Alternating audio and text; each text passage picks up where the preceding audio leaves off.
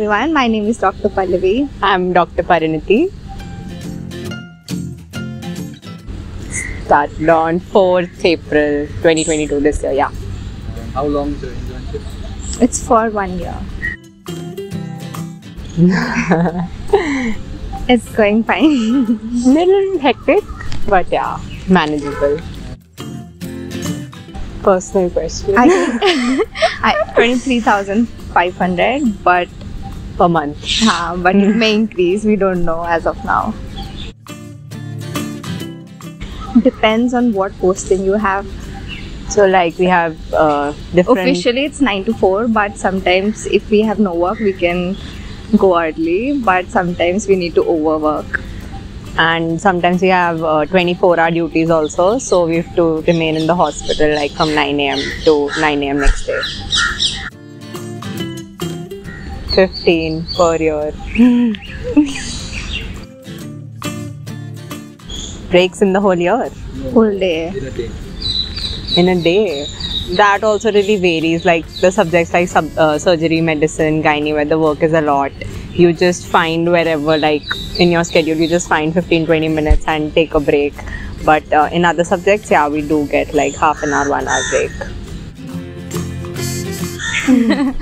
Um, I think a basic idea of how a department works and what is expected out of a subject and basically to get to know what can you do in your future what are your options working life this and that. Not much really because in the end we just need to do the basic sampling and reporting wala kaam but yeah.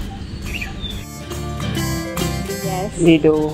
Uh, for three months we are posted uh, in a rural area uh, Rao Tula Ram hospital over there there's a like in the hospital we work as uh, surgery medicine gynae derma pediatric uh, interns.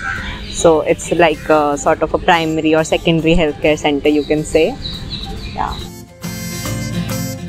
that also really depends on the subject. You know, for example, I can say I uh, had my obstetrics and gynae internship, so the labor room duties were really fun. Uh, so many of our uh, like colleagues uh, carried out independent deliveries as well, and uh, basic suturing skills, Suturing. removal of sutures.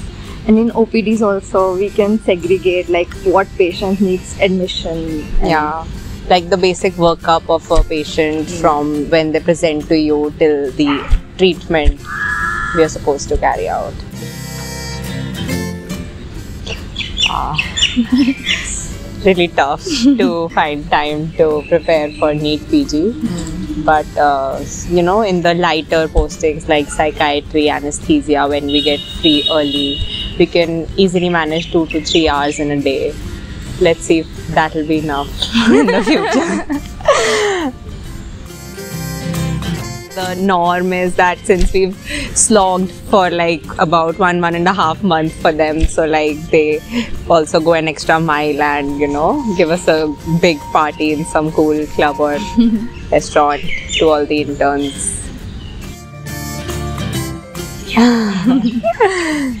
suddenly like it, it's worth four years of mbbs and the money and like few other like the party perks and all. So like if you club all these incentives together then you can say maybe yes it's worth it